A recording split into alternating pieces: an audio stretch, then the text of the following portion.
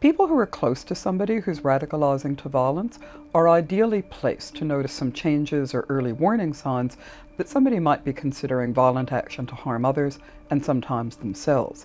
And this means that these are also the best people to help intervene early before greater harms can happen.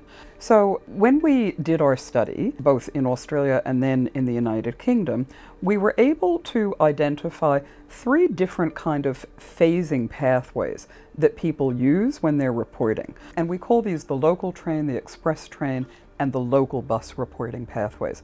The local train pathway basically involves a staged process of uh, the informal sharing of concerns, perhaps with friends or trusted uh, community figures, doing some background research, support seeking behavior, and then moving towards disclosure to authorities.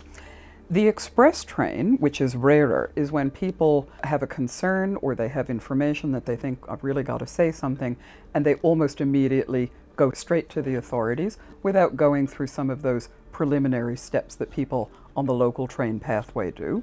Finally, there's the local bus pathway. That is more of a stop start process that can involve interruptions or pauses on the way to reporting, and it takes quite a lot longer for them to feel that they have the confidence or the trust to contact authorities with their concerns.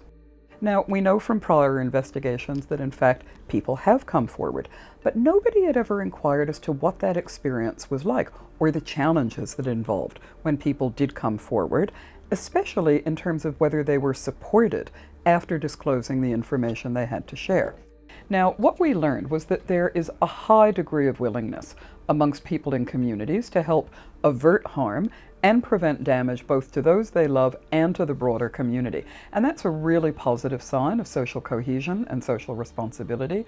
We need to intervene as early as possible to be able to help those who might be heading down a path of extremist violence and also protect our families and communities from harm. And that means understanding the vital role of people close to someone in this situation and doing everything that we can to help and support them in the choices that they make about assisting that person and preventing even greater harms from occurring.